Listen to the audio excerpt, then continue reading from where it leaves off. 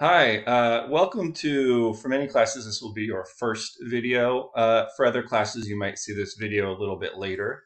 Um, this is me up here in the in the corner there, Dr. Selby. Um, uh, currently, I'm teaching at CSU Sacramento and Folsom Lake College. It looks like it's going to be that way for a while. Today, uh, the lecture is on what is science, okay? It's a course in political science, um, and that means obviously wrapping our brains around just some of the basics of how science works, where it came from. That's going to be very important to us. Our agenda here is pretty straightforward. I'm going to talk first about the historical origins of science. Then I'm going to talk about the different parts of science. And then lastly, I'm going to talk about the practice of science. Okay. There's a lot to cover. It'll take me probably about an hour. Um, sorry for the little glare. Uh, today is the day that the um, atmospheric river came through and I lost power. So I'm actually just recording this on battery power on my computer. I think I have enough for one take only. So hopefully this is going to make it through on one take. Um, um, and we'll just we'll just go from there. So let me just jump right into it and let's start talking about the historical origins of science. So where did science come from? What were they responding to? This is what I this is what I want to talk about first. So, where did science come from? Well, science started in early modern Europe. That's roughly say 1400. Well, that's it's a bit later in this case. Say 1500 to about 1700 is the main sort of like there's a bunch of guys. There's some that's actually actually happening about 1400s you're getting uh, some uh, forerunners and stuff. But uh, right around the mid 16th century, you start getting people like Francis Bacon, and you get Copernicus and Galileo, and you know honestly, even the Ninja Turtles, the Leonardos, and all those guys. Um, they were doing a lot of engineering. They weren't quite scientists yet, but they were quite innovative and they were really setting the groundwork for what becomes systematized into science. That's why kind of you know 1400. But these are long time frames. The exact dates are a little bit fuzzy, but you know, this is like the meat of the action is happening in these 200 years where science is really growing, becoming systematized and developed. But what are these early scientists? So like I said, it was people like Bacon, Galileo, um, even if you're in my political theory class, John Locke, who's right at the end of this, he dies in 1720, 1721, something like that. Um, but Locke was very important in he was kind of a second generation scientist. He had Bacon and some of these other guys to look back to. But you know, these are big names in the history of Western thought. And so this period we call it the scientific revolution because science is being systematized. We start to use it. Um, you know, make awesome new stuff, right? Science is you know, great. Computers are great, right? We all love computers and phones, and we don't have any of that without science. Okay. Um, what are they really responding to, though? Well, people, especially here, like Bacon,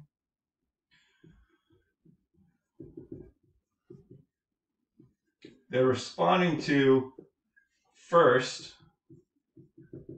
the challenge of absolute skepticism. At this period in Europe, there's also a bunch of religious wars, and one of the most uh, uh, common, strongest philosophical schools was this absolute skepticism school of someone like Michel de Montaigne. Um, you know, really interesting guy. I actually really enjoyed his philosophy. But you know, he said he said no truth is certain. There's no such thing as certainty. All, everything is doubt. You can't know anything. Okay. Um, and the scientists, people like Bacon and others, they were really moved by this. I mean, Montaigne's a great philosopher. Um, he's very persuasive. But what they did is they said, okay, Montaigne, you know, challenge accepted that there is a real incertitude. That's the word that Montaigne used, uncertainty or uh, incertitude to knowledge. But ah, but if we do it right, we might be able to make some claims about the world that we can be more or less um, uh, uh, certain of. Okay. One of the things that's important here to keep in mind is that this response, scientists are still skeptical. The role of doubt. And that's what skepticism is it's a focus on doubt. The role of doubt remains terribly important in science. all of science is probabilistic.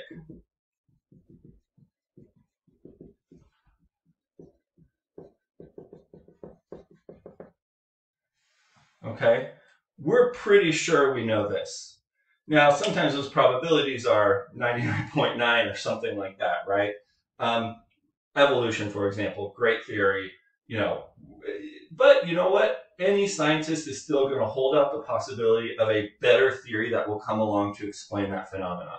So, like, for example, Newtonian physics, which is also developed, I should put Newton on here, Newtonian physics is developed right in this time frame that was the way of thinking about physics for like 300 years. And then Einstein comes along, he's like, nope, knocks it all over. Okay. And now we're like, oh, Einstein. But people are like, well, there's some problems. Maybe we can fix relativity or come up with another theory that actually even explains it even better. Okay. So things might seem like we're 100% certain. And 200 years later, sometimes the time frame is long here. 200 years later, we come back and we say, oh, okay, you know, yeah, uh, that worked pretty good but here's a theory that works even better. Okay, um, well, there it is. I got my handy dandy cleaner offer here. Um, the second challenge that these guys were responding to, which I don't want to talk about as much because it's not quite as philosophically interesting, um, was the challenge of the church. And the church had uh, answers from the Bible. So, you know, Earth is the center of the solar system. Why? Because humans are here, right? Well, that's Copernicus and Galileo. They're like, no, dude. like, I just got some observations to show you that. Uh, show you that. Um, you know, I can see that we're going around the sun, not that the sun's going around us. And like, that's, you know, oh no, you're excommunicated. Okay. So um, the historical origins of science are really important, very interesting. Science was challenged by skepticism, and what it did was it kind of incorporated a lot of the skeptical attitude um, into the practice of science. Now let's talk about the parts of science. There's three parts of science.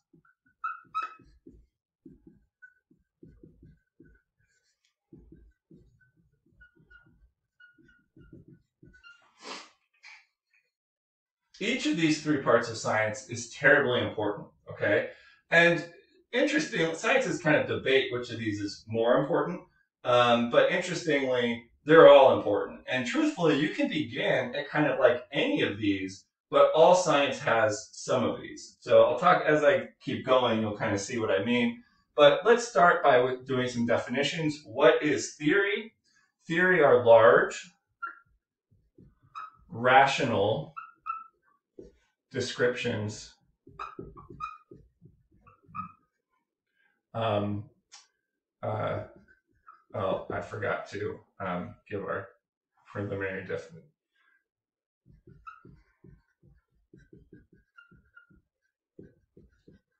Forgot to give the preliminary definition of science, but that's okay. We'll get back to it. So, theories are large rational descriptions that connect cause and effect. Okay, so we're looking at the material world in some sense. Um, we want to know why things are happening. That means we're concerned about cause and effect. You know, think chemistry here how do different molecules bond together, things like that, right? What's causing that? Well, it's electrons and, you know, positives, and negatives, and all that, okay? Method.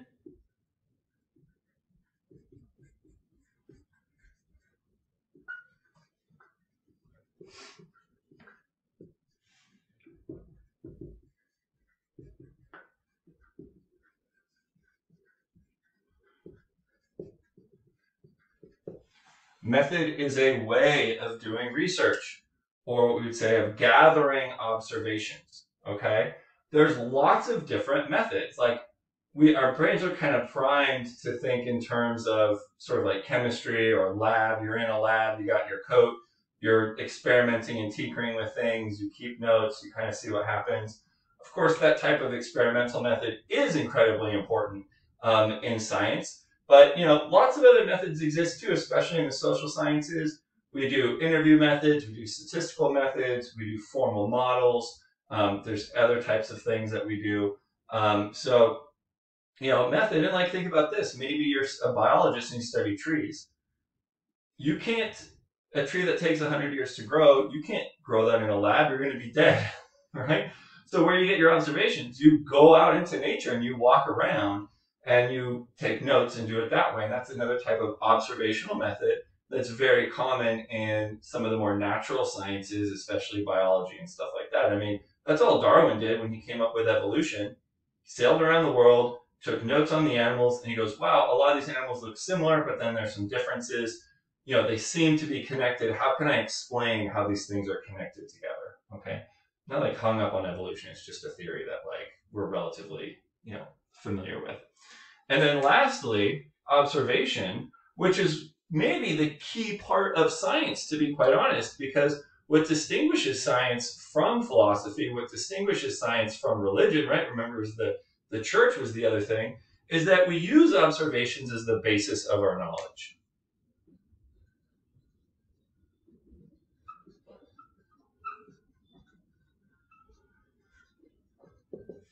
To confirm or disconfirm our theories. Okay? That's what makes science special, this piece here, okay? We call this empiricism, which is a really important word. Empiricism means making judgments based upon observation of what we see in the real world, okay? Um, so, you know, Einstein, when he came up with his theory, what was so interesting about it was it solved a lot of the problems that Newtonian physics couldn't. So, as I said earlier, you know, there's a couple hundred years going by. You know, Newtonian physics worked really well for most things, but then there was these problems that were coming up, and researchers were going, you know, how, how do we make sense of this? Well, Einstein comes up with his new theory. He articulates it, but there's no way to study it yet. But people saw the intuitive power of it and they said, okay, if we're thinking this way, let's try to come up with some methods in order to gather some observations. And it took actually a few years. And then they started going, oh, okay, we can do this. Oh, look, it looks like this is, is what Einstein would have predicted. And even today, we're still working out, trying to find ways to test certain of Einstein's um, hypotheses because that's just how complicated it is. It's really hard to figure that out. And, you know, I kind of follow some pop physics. I'm not like a hardcore, I'm not hardcore to physics. I was not a physics major. You know, I'm not going deep on Einstein. But, you know, every year or so, it's like, oh, we just found another way to test one of Einstein's predictions, and it looks like he was right, right? Now, Einstein's not perfect either. So, like, with relativity, there's also quantum mechanics, and there's string theory. There's, like, lots of different competing theories, which is cool and important. Now, what I forgot to do is like, oh, I forgot to do it, but I got to kind of power through is we need to have a definition of what is science. So I want you to write this definition in now of what is science. This is a really important definition. Again, it kind of brings all of science together for us, whether it's physics or social sciences or whatever. Attempt to explain natural or social phenomena. Okay, that's it. It's the attempt to explain natural or social phenomena. Okay, so natural, the natural sciences, sometimes called the physical sciences, that's physics, chemistry, biology, you know, usually, sometimes they're referred to as like the hard sciences. Um, social sciences, economics, political science, sociology, um, anthropology, psychology. Um, there's a few others, right? I'm not doing a comprehensive list. But no matter what scientific field you're working in, you're working with all three of these parts. You're working with theories, you're working with methods, and you're working with observations. Okay, and they're all they're all really important. And scientific innovation are we're primed to think, oh, you know, it's like Einstein. That's the Einstein story. New theory, bam, let's do it. But the Einstein story doesn't actually start with his with with with theory. The Einstein story starts with observation of the failure of Newtonian physics to fit what we were seeing all the time in the world. Did a really good job for a lot of stuff, and then there was problems, right? If it explained everything, we would Einstein wouldn't have had grounds to look for a new theory. Oftentimes, scientific innovation actually begins with methods as well, right? So, you know, here think Galileo Copernicus. You come up with a telescope you look out into the sky and then you can gather a new observation and your new observation then reflects onto a theory the theory that the sun was the center of the universe had actually been around forever. It was just Catholic Church was saying it's wrong, it's wrong, it's wrong, it's wrong, it's wrong. You get that new method, the method leads to an observation that then tells us which theory is right. Very interesting stuff here. Um, and tons of innovations on the on the method side, like super important, like happens all the time, especially in political science or the social sciences. Lots of times, new methods have been really revolutionary for us. So that's the sort of basics of the three main things of science, but I want to hit a couple of other, those are the main parts. I want to kind of hit some important pieces about um, uh, sort of build on build on on on on that. Um, and I talked about empiricism, right? You should now also know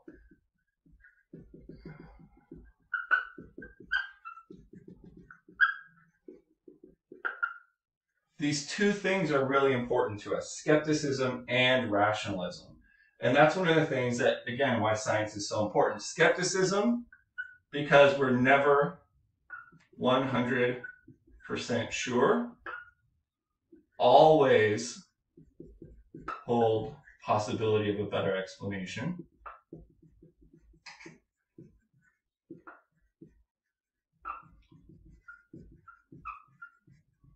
Okay. And rationalism, why rationalism? Because our theories need to be consistent, logically consistent, right? Um, so rationalism is really important for how we put together our theories. A causes B causes C, whatever, something like that, okay? But rationalism is super important on the theory building side, right? Skepticism, rationalism, and then never forget empiricism, which we use to judge our theories. Okay, so it's you know it's almost like not, these are just three sort of important philosophical attitudes um, in science. Okay, skepticism, always keeping doubt in mind. Rationalism, making logically coherent explanations, and then empiricism. Empiricism, how we're going to test those explanations. I already talked about empiricism, right? One other thing I want, a couple other little things I want to talk about in science. Important kind of definitional things to help us.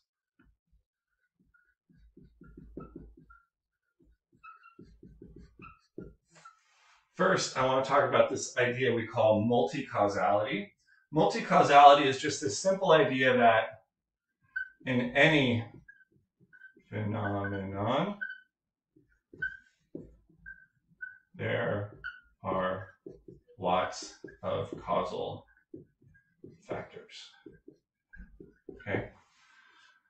So, you know, you know, you're looking at the rotation of the, the, the, the movement of planets, right? You're looking at those kinds of things. You know, there's actually lots of things that are going into explaining why planets uh, revolve around the sun the way that they do. Okay. So we want to keep that in mind. Or maybe in a social science explanation, we might look at, say, voting behavior. But when you look at voting behavior, there's all kinds of things that matter when explaining voting behavior, right?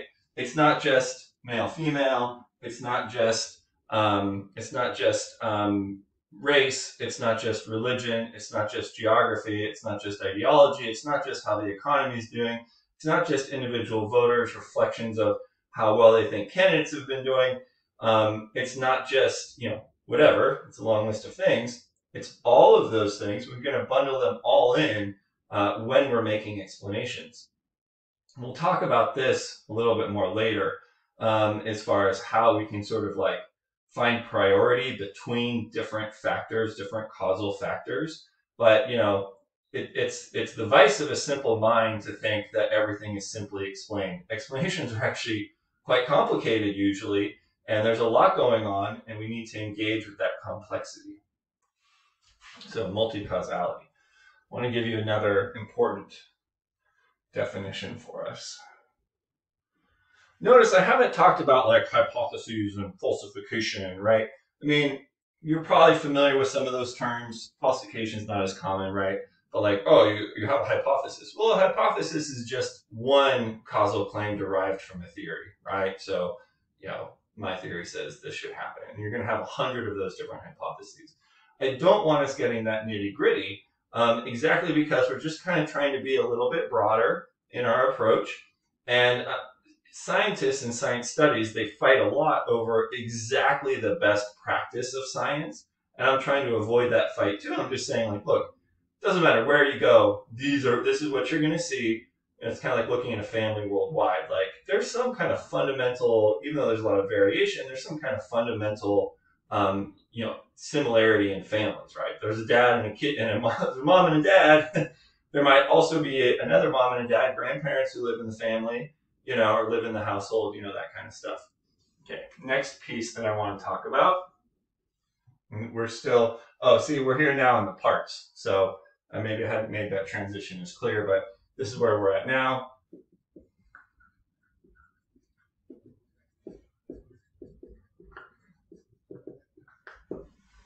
Theoretical pluralism, okay?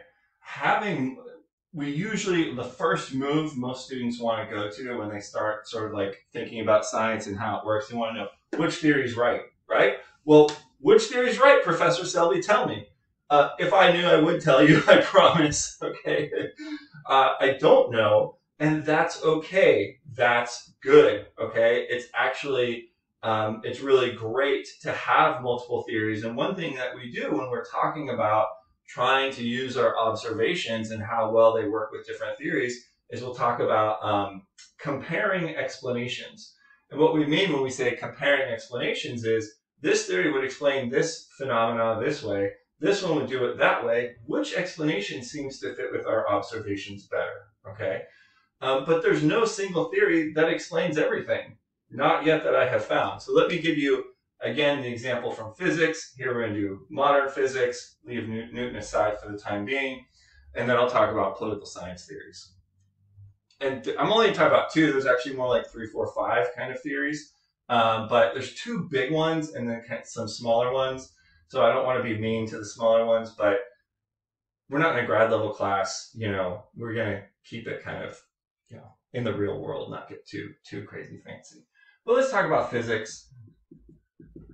So what did Einstein do? The first thing he did was he did the theory of rel relativity, which is a relativity, which is a really good theory.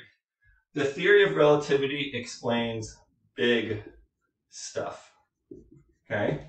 It explains black holes, suns, you know, E equals mc squared, you know, space, matter, time, right? This is this is the stuff you see mostly in like Star Trek. They're like playing with all this kind of like big stuff. Star Trek Dis- Discovery is pretty legit, by the way. It's another story, but really good job. But you know what? It doesn't explain everything. It explains 98% roughly of everything.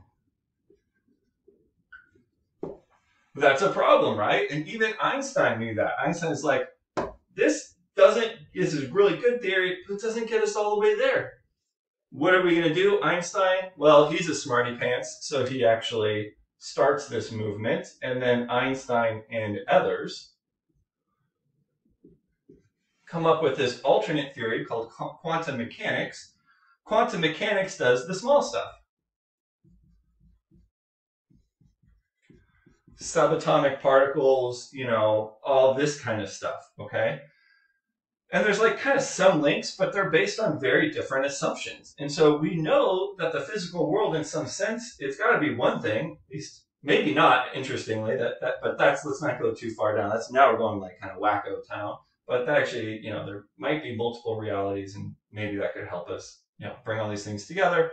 But, um, um, you know, leaving that aside, you know, the assumptions underneath theory of relativity are basically opposite from the assumptions of quantum mechanics.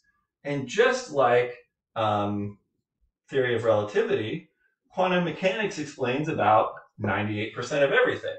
It explains that 2% that relativity doesn't, plus a bunch more stuff, but there's things that relativity explains that quantum mechanics doesn't.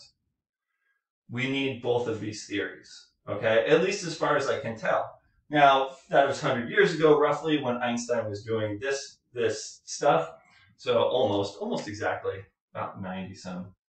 Um, and today, there is a search in physics for a new master theory. They call that string theory, is the going, string theory is the strongest competitor right now. Um, but, um, you know, string theory, one of the problems is they haven't figured out how to really test it yet.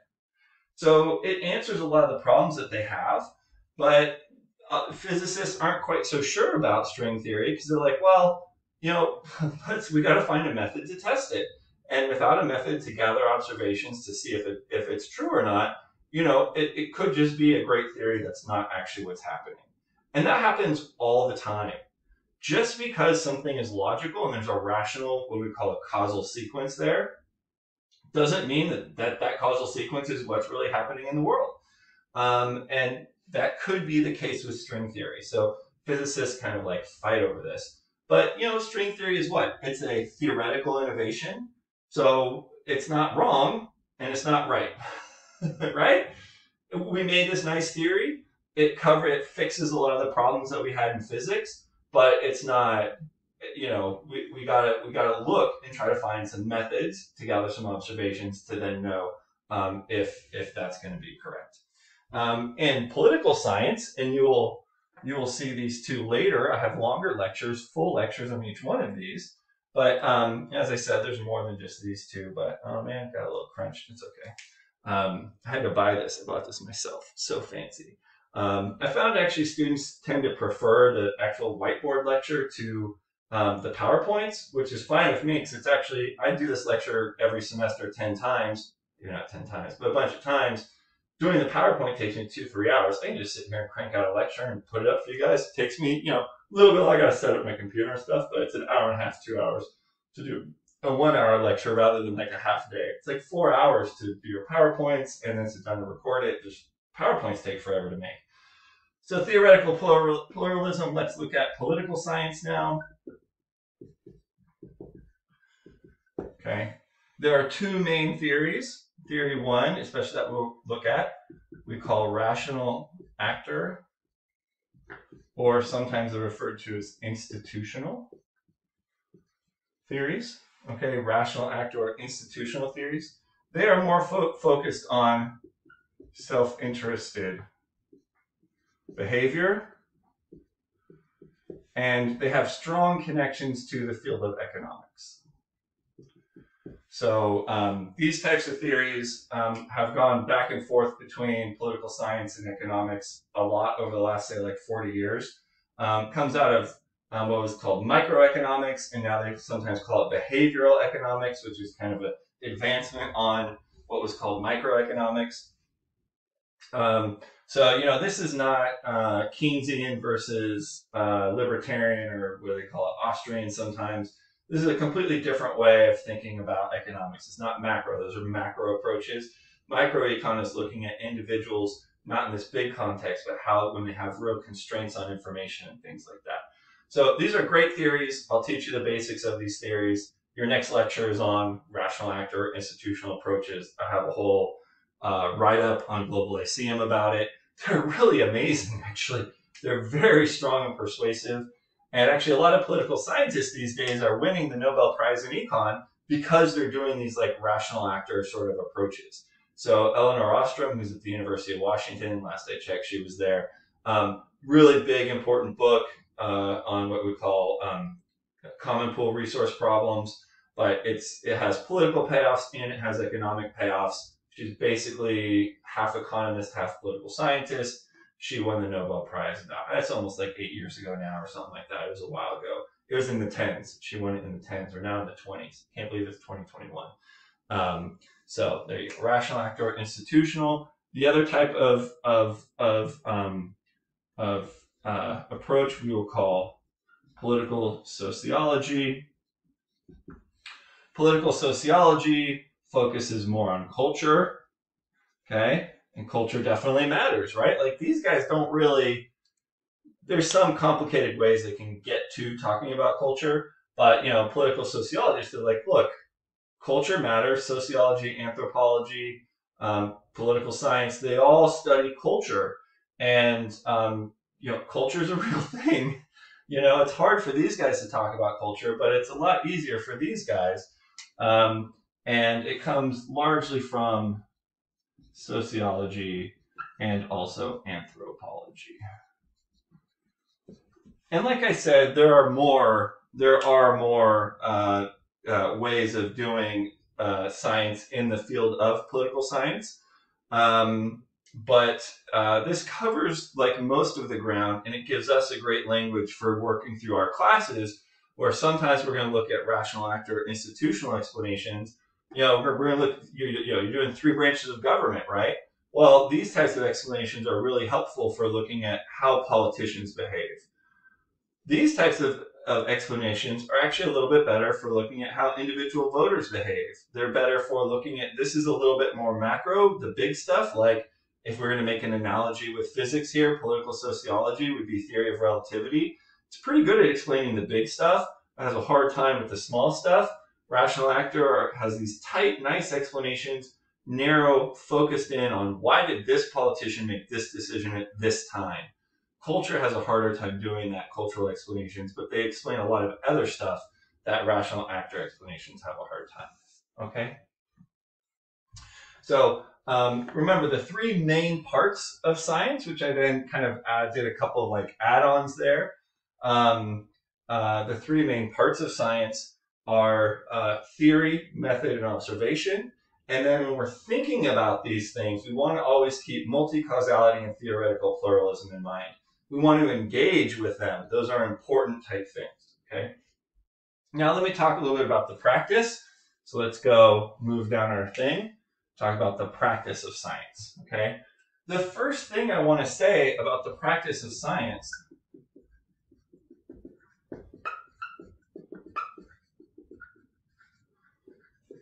it's collective, not an individual thing. We kind of have this heroic scientist mentality sometimes. Galileo, Einstein, you know, like these types of things.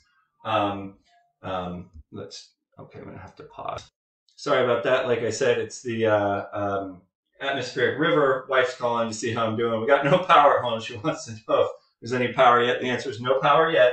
Um, I would not be surprised if, like, in 10 minutes, just like snap, everything goes like, oh, there's power. Let there be light. Okay. Um, to recall, this is where we're at, right? For you guys, it's not as much of an interruption as for me. Science, science um, is a collective, not an individual effort, okay? We kind of have this heroic scientist mentality, but like, again, here, think, and occasionally, you know, this does happen occasionally, um, eccentric genius, Nikola Tesla or something like that, maybe. Um, but, you know, um, Thomas Edison, he had a whole workshop and a ton of people helping him. He was number one guy, but he was managing a bunch of different projects and tell, oh, go do this, go do that. He's the most important guy in the room, but that's collective action, not just his individual behavior. Or again, think about Einstein. He comes up with this nice new theory, but then a bunch of physicists they go, oh yeah, that explains a bunch of stuff. Let's try to figure out how to test it. Well, that's part of the collective part of science. Okay. Um, so to emphasize some of this, I want to hit a couple of extra pieces. Publicity, the principle of publicity. When you do science, you explain to everybody what you did. You don't just show up and say, like, this is the truth. That's the authority approach that the church took. I read the Bible, Earth's the center of the universe. Scientists, their method, their theory, their method, and their observations, it's all public. So other people can go build off of it. So anyone who's like, I have secret data that shows X, they're just lying to you. just keep that in mind. If anyone says I have secret data that shows something, no, they're lying to you, and they're being, that's not science. They're violating the principle of publicity. Everything needs to be public. As part of that, whoops.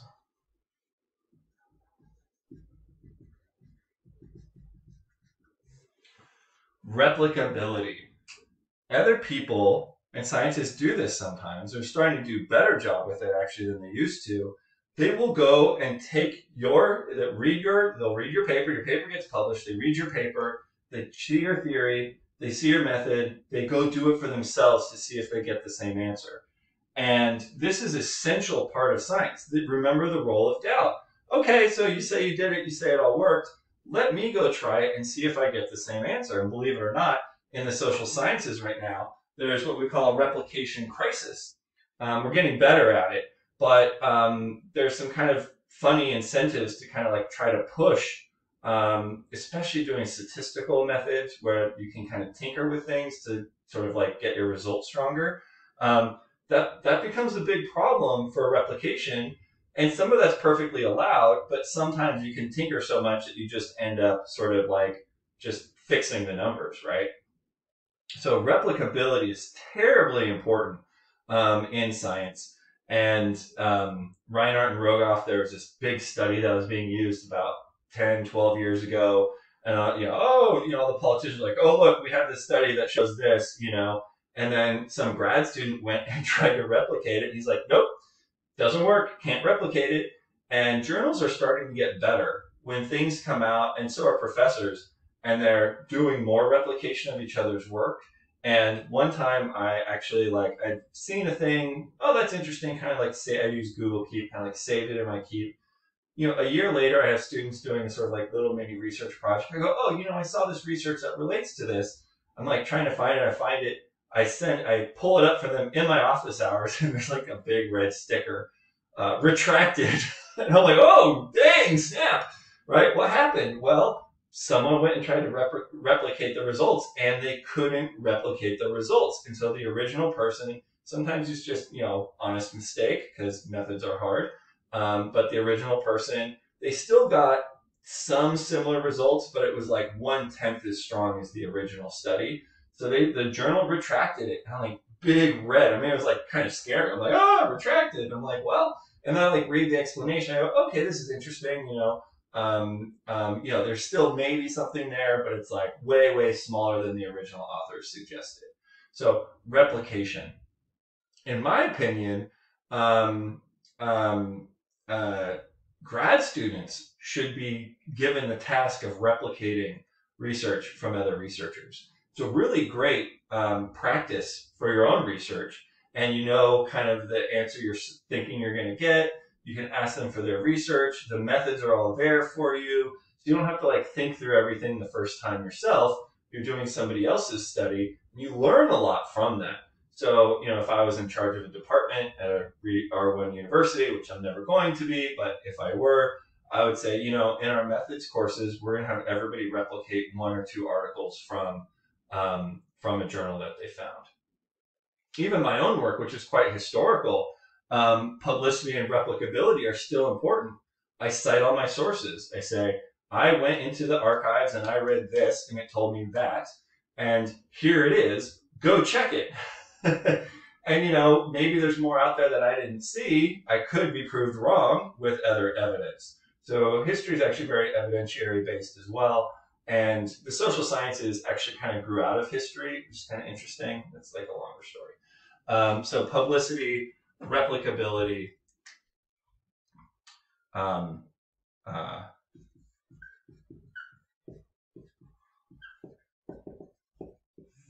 one of the other really important things um, that science does is it helps to control for bias. Okay, um, by having an established method that's publicly agreed to, it helps us control different types of biases that we might see. Let me talk briefly about some key types of biases.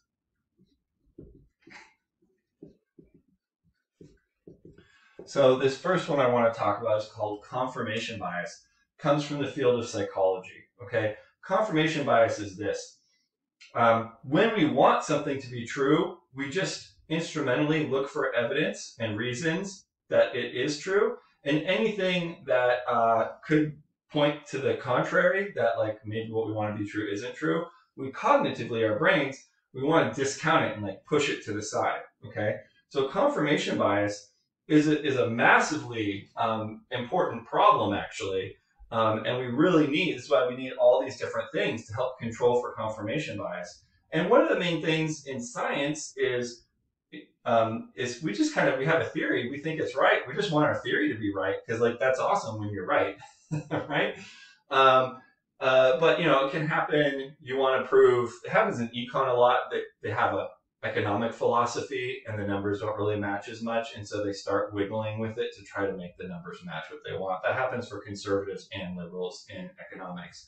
It's a real problem, actually. Econ, econ does not do a great job on rep- replicability. Um, they think, that you know, it's like there's this kind of like, oh, econ is like this tough, like manly kind of thing or something. But the truth is, they don't do a great job on replicability, and a lot of economists have serious confirmation bias problems. Um, econ doesn't do enough observationalism these days. It's getting better. It's coming back to some of its observationalist roots, but it went very theoretical for a while. And theory is fine, but it's just a thing on a page until you can prove it in the real world. So, you know, econ's like, ooh, careful guys. Although, again, this rational actor stuff is really big in econ. They do a really good job. Behavioral economists do a really good job. Um, so it's not universal. Psychology has a lot of problems here, um, controlling for bias and confirmation bias. I'm only going to do three. There's maybe a hundred different types of bias, okay? I'm just doing three really key ones to kind of wrap your brains around how the practice of science is going to help with this. Oh, last note on confirmation bias. It's not all bad. Confirmation bias is one of the things that um, helps human relationships work well. So in your love relationships with your partners, wives, you know, stuff like that, you really love your, your wife or your husband, that emotion of love filters the information coming in. And when they do things you don't like, you push it to the side, you discount it, and then when they do things you like, like, oh, they're so amazing, you know? So like, I don't know, just take, be like super, you know, kind of semi-stereotype people. Like, he likes to drink beer and watch football every Sunday with his boys. It's a little bit annoying, but she's like, oh, I love him. It doesn't really matter, right? You know, something like that. Um, uh, so that's confirmation bias. Selection bias is one of the most, this is a properly speaking scientific bias. So it doesn't relate to our brains and how our brains process information. Instead, it relates to the actual methods and, and, and what you're doing. Um, but selection bias happens anywhere where there's um, a, a, problem with what how you're observing. Okay, and then we call it your population. It's a problem with how you're observing. And then you end up getting fa- false results because you didn't look at a complete selection of cases. Okay, so if you want to know, say, um, well, say we're just going to do a public opinion poll, and this is so everybody in the whole country, what do they think? But say we only called men, right? So we're like, oh, well, let's find out what all Americans think about whatever X, and then we only call men. Okay, well, believe it or not, like, welcome to the real world. Men and women, there's some differences in how we process things, and not really process things, just, I don't know if it's cultural, I don't know. I don't know where the difference comes from. I'm not trying to take a stand on this one. But it's quite clear that if you only talk to men, you're gonna you're missing part of the game. Now, if you're trying to figure out what do men think about X, then you're fine. If you want to know what does everybody in the world think about X, you're in or in the United States think about X, then you're in deep trouble. Or maybe you don't call anyone from California, or you don't call anyone from Texas, right? These are real problems. So in pub, this is one reason in public opinion polls, you always have a a margin of error, a plus or minus, because there's a little bit of leeway between how many people they can call, practically speaking, and how we can extrapolate to, from that to what everybody thinks, right? You're to make some mistakes in there, so you need to give yourself a little bit of wiggle room, okay? Um, uh, oh, let me give you another example of selection bias. Let's say you wanted to know, this happens a lot, you wanted to know what makes a country democratic? Okay. Why democratic? And then what do you do? You say, you know what I'm going to do? I'm going to put together, I'm going to put together a spreadsheet of all the democracies and you list them out in your spreadsheet. You just take all the democracies in the world. That's the wrong way to do it. Why? you're by only looking at democracies, you're not going to be able to see if there's maybe some similarities with autocracies, which would be the other, you know, dictatorships. That's our other option. You're not going to be able to see some of those similarities. So maybe this happens. You go, oh look, oh my goodness, I notice that all of the democracies have relatively high levels of economic development. it must be the case that economic development causes you to be a political democracy. And then lo and behold, it turns out there's, and you're like, oh, okay, done, yay, figured it out. And then someone comes along, they say, well, did you know that, um, uh, uh, uh, what's the, well, Germany under Hitler or um, uh, Italy under Mussolini or Argentina, right? Did you know that there are many authoritarian regimes, autocracy, authoritarian, same thing, that are also quite capitalistic and, and highly developed? And you say, oh, no, I didn't know that. They say, well, if economic development causes you to be a democracy, why is it that we have these authoritarian regimes with high development, but they're authoritarian and not democratic? And the answer, oops, maybe this does help, but there's got to be something more. Okay. And there actually is a pretty strong relationship between these two things, but we're not quite sure actually if democracy causes economic development or if economic development causes democracy. Could even be a little bit of each. Okay. But there certainly needs to be more to this to this answer because we also see highly developed autocracies or authoritarian regimes. Okay. Or similarly, why you want to look at what uh, what causes a team to win a championship? Basketball, baseball, it doesn't matter.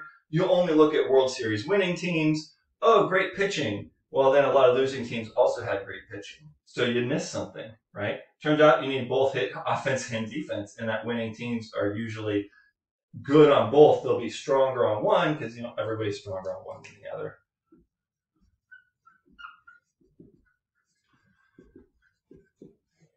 And just another one that's kind of like kind of helpful to like log this into our brain. This is one that political scientists really had to grapple with in the mid part of the of the century um, because we wording bias comes up in statist in, in, in interview methods and in public opinion polls and things like that.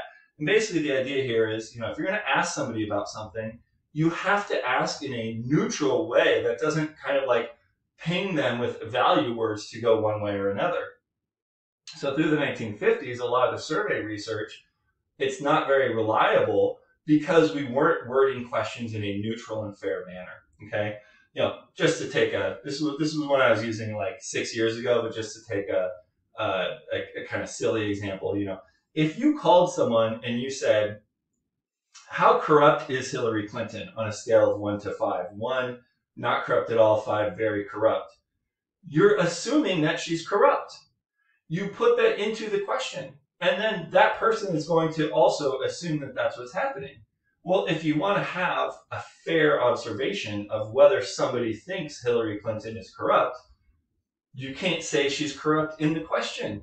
That's that's not going to fit. On a scale of 1 to 5, do you think Hillary Clinton is corrupt or not?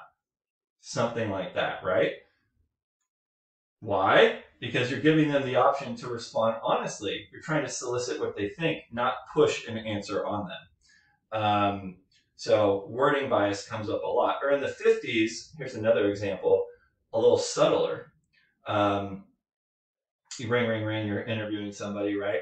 Um, do you support traditional gender roles of women in the home, or is it okay for women to work outside of the house? What did you just do? you pinged off the respondent with that word traditional. And now they're automatically associating tradition with being in the house. I know we do make that assumption, but truth be told, women have worked outside the house pretty much like like in the house is it, that's an ambiguously traditional thing. It might have been true in the 50s for some women, but um, when you ping it off that way, you're corrupting the results that you're getting. Okay, um, so just these three kinds of different kinds of bias, really important and helpful for us. You know, you can play around online if you feel like it. Go Google all the different types of bias that are out there. Um, there's you know a hundred different types of bias. Okay, um, so that's it for today. Um, we've hit um, uh, uh, all the all the key things. Um, the role of doubt, theoretical pluralism, the three parts of science, multi-causality. It's a collective, not individual uh, endeavor, publicity, replicability, control for bias. These are the key things that we're trying to do with science.